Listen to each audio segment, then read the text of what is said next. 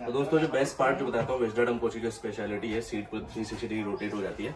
आपको देखिए नीचे ये दिया गया है तो इसको प्रेस करना है और इस सीट को घुमा देना अर्धा तो बैठो यहाँ पर। ये देखिए अपना बैठ